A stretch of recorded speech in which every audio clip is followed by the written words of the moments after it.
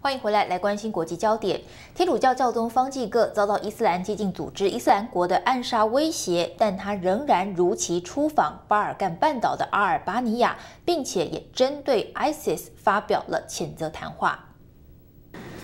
Nessuno pensi di poter farsi scudo di Dio mentre progetta e compie atti di violenza e sopraffazione. 罗马天主教教宗方济各二十一号到访阿尔巴尼亚。方济各在总统府对阿尔巴尼亚领袖发表演说时，对伊斯兰国的恐怖行径发出谴责。